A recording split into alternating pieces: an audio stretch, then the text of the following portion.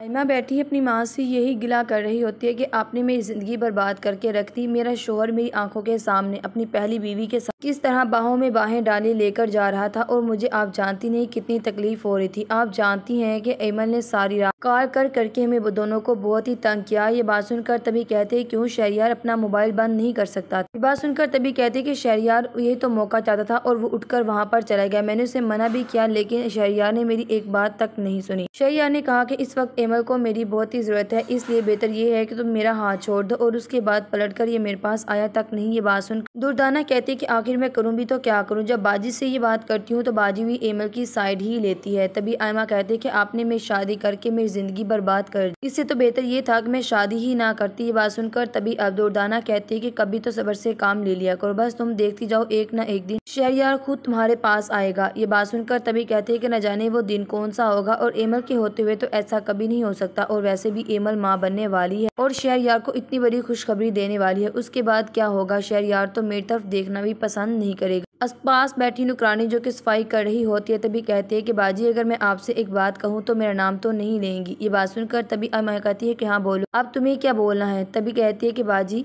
मैं आपको एक वेरी गुड न्यूज़ सुनाऊं तो आप किसी को मेरे बारे में तो नहीं बताएँगी? बात सुनकर तभी कहते हैं कि गुड न्यूज़ और किसी को ना बताने वाला क्या ताल्लुक है? तभी कहते हैं कि गुड न्यूज़ तो आपके लिए है, ना कि घर वालों के तभी दुर्दाना कहती है कि हाँ बताओ, आखिर क्या बात तुम बताना चाहते हो? तभी कहते हैं कि, बाजी, आपको लगता है कि एमल माँ बनने वाली है तो ऐसा बिल्कुल भी नहीं एमल बाबी माँ नहीं बनने वाली। आप लोगों को सबको धोखा दिया है एमल बाबी ने। बात सुनकर तभी अब दुर्दाना कहते हैं कि होश में भी तो हो, तुम क्या कह रही हो? तभी कहती है कि जी हाँ बाजी मैं अपने होश में मुझे ये भी पता है कि मैं क्या कह रही हूँ। ये बात सुनकर तभी दुर्दाना कहती है कि तुम्हें कैसे पता कि एमल माँ बनने वाली नहीं? तभी कहती है कि मैंने जिस दिन आप लोग वलीमे के फ़ंक्शन को अटेंड करने के लिए यहाँ से गए थे तो मैंने देखा था बाद में।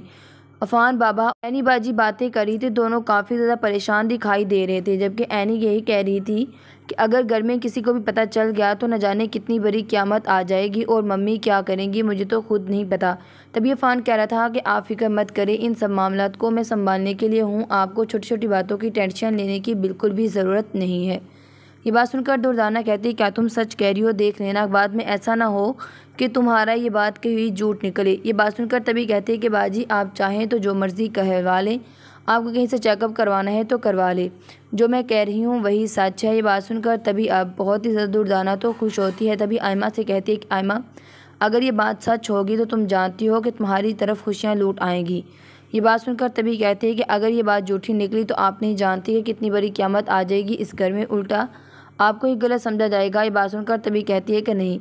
मुलाजिम ऐसे ही कोई बात नहीं कर देते जब तक उसकी जाँच पड़ताल नहीं करते। यकीनन, इसने वाकई बातें सुनी है तो इसने हमारे साथ ये बात की है अदरवाइज़ ये कभी भी हमारे साथ इस तरह की बात ना करती तभी आयमा कहती है कि सोच लें, मुझे तो डर लगता है। कहीं ऐसा ना हो कि आपकी सच्चाई बताने के चक्कर में अफान और शहरियार एक दफ़ा से फिर आपके साथ बदतमीज़ी करे। और याद रखिएगा, इस दफ़ा मैं उनकी कोई बदतमीज़ी बर्दाश्त नहीं करूँगी। तभी अब दुर्दाना कहती है कि बस तुम्हें अपने किसी न किसी तरह से इस घर में कदम मज़बूत करने हैं। अगर आज जो कुछ हमें इस मुलाजमा ने बताया वो बात सच हुई तो बहुत अच्छा होगा और फिर मैं जानती हूँ कि तुम ही सबसे पहले इस घर में वारस देने की खुशखबरी सुनाओगी। बात सुनकर तभी कहती कि हाँ बस कुछ ऐसा ही होने वाला है। तभी अब दुर्दाना कहती है कि बाजी को आज आने दो, बाजी से जाकर तो मैं खुद बात करूँगी। तभी अब जैसे ही फ़ाखरा आती है तो खाना खाने के बाद फ़ाखरा तो अपने रूम में चली जाती है, लेकिन दुर्दाना को समझ नहीं आ रही कि आखिर वो कैसे बाजी के रूम में जाए और जाकर उनसे ये बात करे कि आपकी बहू ने आपको बहुत ही बड़ा धोखा दिया है। आपको कह रही थी कि वो माँ बनने वाली है, जबकि वो माँ बनने वाली ही नहीं है। तभी अब दुर्दाना हिम्मत करके चली ही जाती है। आयमा को भी अपने साथ ले जाती है। तभी कहती है कि तुम भी कहना कि खाला हाँ हम सच बोल रहे हैं। अब जैसे ही जाती है, तभी कहती है कि बाजी, मैं आपको पहले ही कहती थी कि ये लोग मेरी बेटी की खुशियों के कातिल है, लेकिन आप तो मेरी बात मानती ही नहीं थी। ये बात सुनकर तभी फारहा कहती कि हमेशा तुम टांगों से ही पकड़ा करो, कान से पकड़कर सीधी तरह बात तुम कभी भी नहीं बताती हो। मुझे साफ़ साफ़ अल्फाज में बात बताया करो, आखिर बात क्या है? तभी अब आयमा कहते हैं कि रुके खाला, मैं आपको बताती हूँ कि बात क्या है। आपसे झूठ बोल रही है कि वो माँ बनने वाली, जबकि ऐसा बिल्कुल भी नहीं। ये बात सुनकर तभी फाखरा कहती है, क्या हो गया है तुम्हें आयमा? तुम किस तरह की बातें कर रही तभी आयमा कहती है कि हाँ जी खाला, मैं सच ही कह रही हूँ कि वाकई वो लड़की माँ बनने वाली नहीं, बस वो आपको धोखा दे रही ये बात सुनकर तभी आप बहुत ज़्यादा फाखरा गुस्से में आ जाती है। तभी कहती है कि, नहीं, ऐसा कभी नहीं हो सकता। उसने तो मुझे खुद कहा था कि वो वाकई माँ बनने वाली तो ये सब कुछ क्या? तभी कहती है कि खाना ठीक है, अगर आपको अपनी जिद पूरी करनी है तो ठीक है, कुछ महीनों का इंतज़ार कर लें। कुछ ही महीनों बाद आपको पता चल जाएगा कि झूठ कौन बोल रहा था और सच कौन बोल रहा था। तभी कहती है कि आखिर मुझे बताओ कि तुम्हें किसने बताई है ये बात? तभी कहती है कि खाला, हमें तो बस घर की मुलाजमा ने ये बात बताई थी, वरना मुलाजमा को किसने ये बात बतानी थी?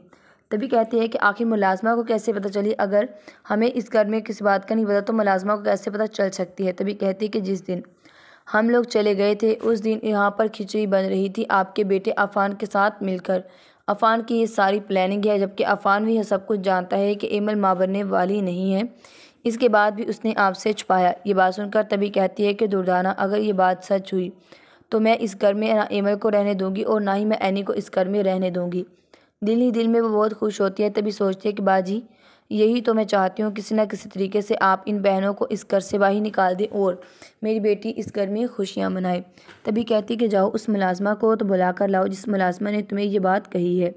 अब जैसे ही दुर्दाना जाती है और जाकर उस मुलाजमा को ले आती है जिसने उसके साथ ये बात की होती है तभी मुलाजमा बहुत डर रही होती तभी कहती है कि आपने ये क्या कर दिया है? आपको इस तरह से बीबी साई को नहीं बताना चाहिए था ये बात सुनकर तभी कहती है कि खामोश इससे आगे एक और लफ्ज़ मत बोलना। याद रखना कि मैं माफ़ नहीं करूँगी। फारा कहती कि हाँ बताओ, आखिर क्या बात थी? तभी वो बताती है कि वाकई जो कुछ भी आपको दुर्दाना ने कहा, वो सच है। तभी कहती है कि, लेकिन मैं तुम्हारे मुँह से ये बात सुनना चाहती तभी कहती कि, जब आप सब लोग वलीमे के लिए चले गए थे तो आप जानते हैं कि मैं गाड़ी बंद करने के लिए गई थी, लेकिन मैं अचानक से वहाँ पर रुकी तो ये दोनों बातें कर रही यहाँ पर अब एनी बहुत ही परेशान थी अफान साहब से, कह रही थी कि, मुझे तो बहुत डर लग रहा है। जब इस घर में पता चलेगा तो बहुत बड़ी क्यामत आ जाएगी। तूफ़ान साहब कह रहे थे कि आपको टेंशन लेने की ज़रूरत बिल्कुल भी नहीं। इस मामले को मैं बहुत अच्छे तरीके से सॉर्ट आउट कर सकता हूँ और ख़ुद ही कर। बस सारे मामले को मेरे ऊपर छोड़ दे, तभी एनी बीबी कह रही थी कि इतनी बड़ी बात है और आप मुझे कह रहे हैं कि इस मामले की मैं टेंशन ना लूँ।